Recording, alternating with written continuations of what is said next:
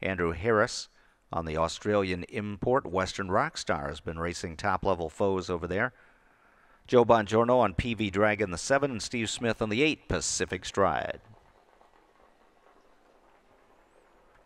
And they're off. Pacific Stride takes back. PV Dragon heads out. Wake Up Peter is even quicker, and toward the inside is Bettor Believe It. So Bettor Believe It leads him onto the opening turn. Wake Up Peter takes. Oh, he gets some urging there from between horses for Brett Miller. So Wake Up Peter is chased up into the second spot. Racing in third on the inside is Western Rockstar as they move toward the quarter. Dropping in fourth is PV Dragon. Then about two lengths further back in fifth is Brooklyn Benny as they move toward the quarter. And coming on now on the outside, it's Wake Up Peter who's going by to take the lead onto the backstretch 28 and 1 for the opening quarter. Sixth is Gaelic Beach, who's gapped slightly, and at the tail of the field is Pacific Stride, who is the trailer. So Wake Up Peter, top level free for allers on top of the two and a half length lead. Western Rockstar is in the pocket spot, racing in second as they head down the backstretch, or rather, it's Bettor Believe It second. The other Andrew Harris horse, Western Rockstar, is racing along in third. About three lengths behind them from fourth is PV Dragon, halfway home in 55 and 2